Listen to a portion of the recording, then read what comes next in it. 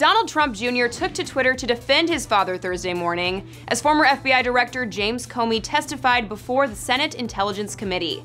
Paul Ryan, Dan Scavino Jr., and Sarah Huckabee Sanders all defended President Donald Trump as well. Trump Jr. responded to Comey's statement that he took President Trump's words, quote, I hope you can let this go, about the Flynn investigation as an implied direction. He tweeted, Knowing my father for 39 years, when he orders or tells you to do something, there is no ambiguity. You will know exactly what he means.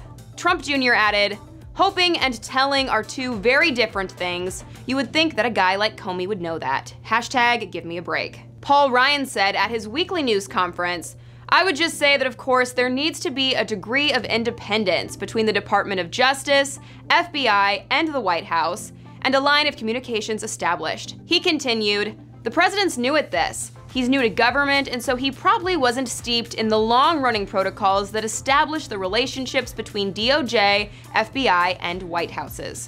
White House spokesperson Sarah Huckabee Sanders also defended Trump in a briefing Thursday, saying, I can definitely say the president's not a liar.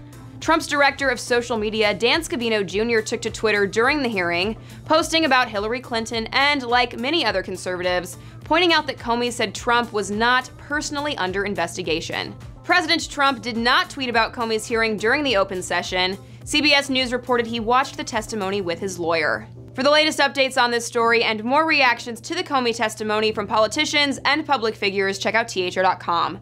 I'm Tiffany Taylor for The Hollywood Reporter News.